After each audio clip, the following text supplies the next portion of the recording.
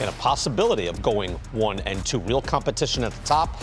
Again, you'll see the MLB draft right here on MLB Network. Rounds one and two. Coverage begins Sunday night at 6 Eastern, then Monday, rounds three through 10. Big time players going there, too. Coverage begins at 2 o'clock Eastern on MLB.com. Sunday night, right here. Time now for the 2023 MLB Draft Report presented by Nike.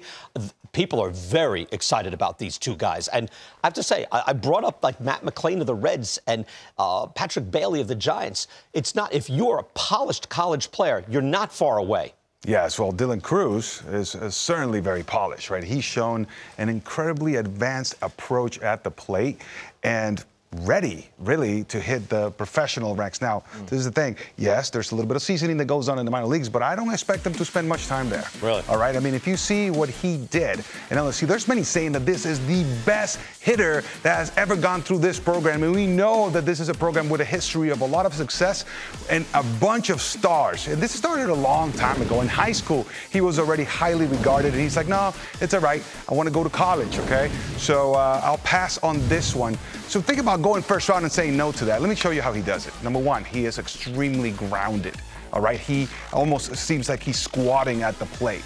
And this is very important because hitting starts from the ground up. Look how low he got. I mean, he wasn't like this in high school. He kept adjusting. It reminds me of Albert Pujols, kind of like just lifting the heel to get going with his swing. That's the approach that he has adopted. Just doing that. That's it. That's all you need to load. All right, look at that.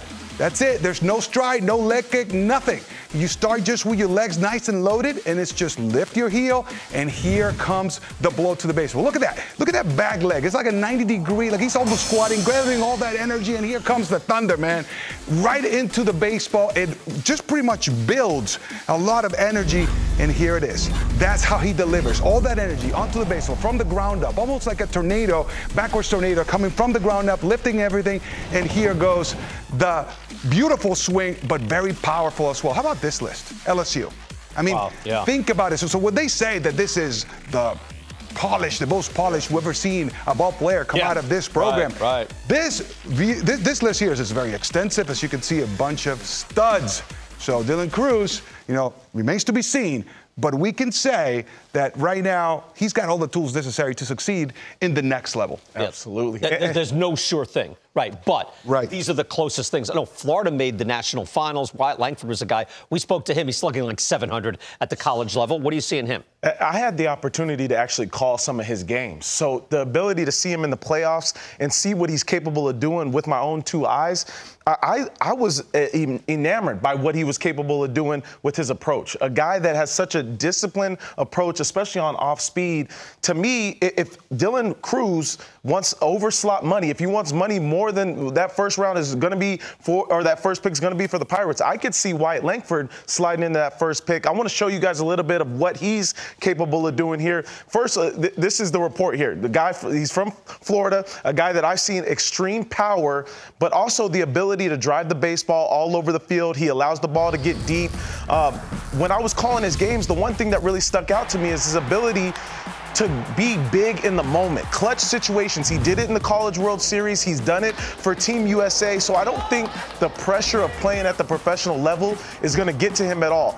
Solid outfielder when it comes to left field. They're looking to maybe move him to center field once he gets into the professional ranks. Has good speed, great bat to ball skills, but the body type to me it reminds me a lot of um, young Mike Trout. How strong he is, how shredded he, how shredded he is, and his ability to play the game with ease. He's got great knack for understanding the game, situations, will steal bases. And one of the biggest things oh. for me, you see the quick rotation. Quick to the zone, long through it.